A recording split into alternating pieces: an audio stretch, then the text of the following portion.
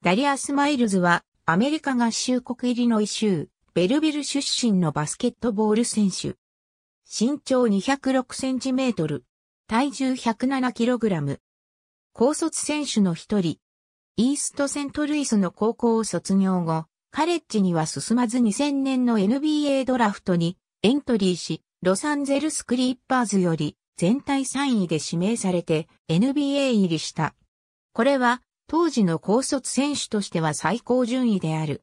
ルーキーイヤーから攻守にわたり優秀な成績を残し、特に1.5ブロックはキャリアハイである。オールルーキーファーストチームに選出された。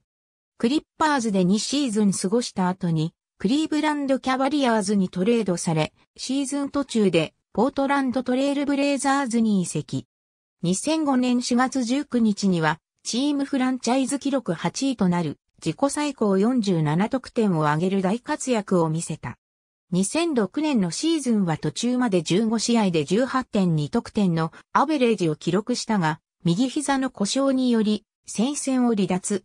完治するまでに時間のかかるマイクロフラクチャー手術による治療を決断し、翌2007年のシーズンも棒に振ることとなった。